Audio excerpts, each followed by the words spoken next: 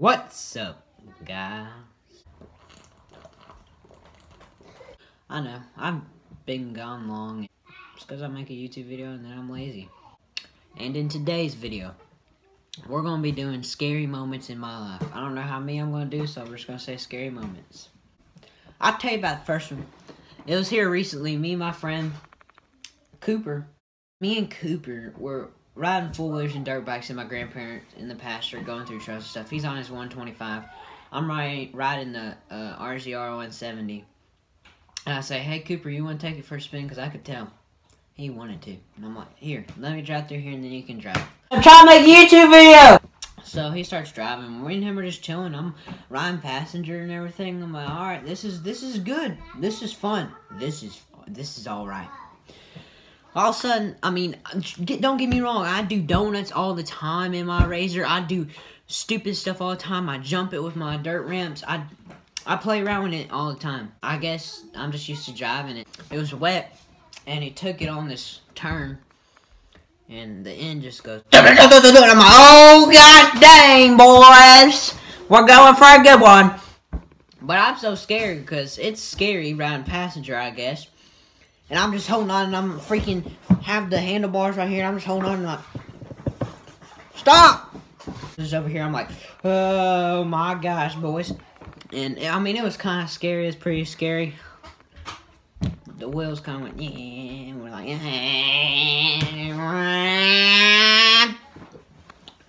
But, yeah, that's one.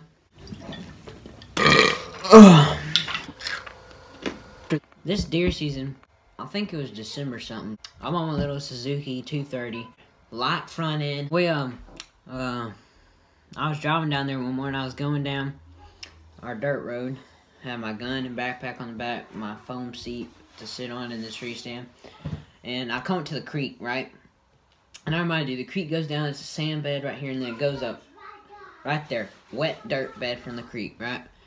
And so, like, I start to go up, and I was in third gear going up, and it started bogging down, so I downshifted in a second, and I gunned it. But when I did that, it went, and the front end went about like that, and I just rolled off the back. And that creek water rise, I touched it, Man, I tell you, that was so cold. It was, it was a cold morning. That water was even colder.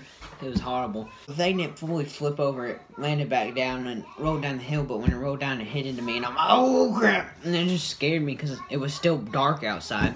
I had the headlights on. I couldn't see worth a crap. I'm in freezing cold water.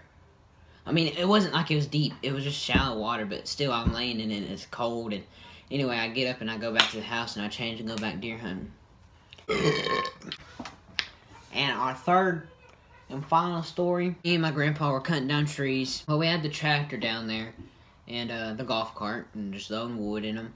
Well, we still hadn't cut down the tree, so we cut down the tree right, there's a fork tree like this, and a tree fell down right in the fork of it. And so we cut the edges of it off, right? We I lift, my grandpa says, hey, Deston, why don't you just go over here, because we had the bucket, the front load. Lift it off the ground, and we're cutting it, and all of a sudden we cut so much wood off that there's about eight foot left forked in the tree, and it just comes swinging back at us. My grandpa is right here, and I'm sitting in the tractor, and I just see the big old fat tree coming at us, and I just jerk down on that hydraulic thing, lifting up the front loader, and it scared me because that freaking thing just big old piece of wood coming at you like, and you're like, yeah, and you're like, no, and it's scary, and it's freaking like and so that was pretty scary because the tractor tire came off the ground from the weight uh, when it swung back. though. And I'm just sitting over here and I'm like, yeah, Grandpa, can you finish cutting the rest of it? Y'all be quiet. Look at our new friend. Baby squirrel, we cut down the tree and it was in there and so. But we're raising it up now. It's about six weeks old. Stinker. Oh, is that right? Yep. But anyway, guys, that's gonna be it for today's video. I hope you enjoyed. It was stupid and pointless, but you know, I had to come back at some time or another. And thank you for watching, and I'll see you in the next video.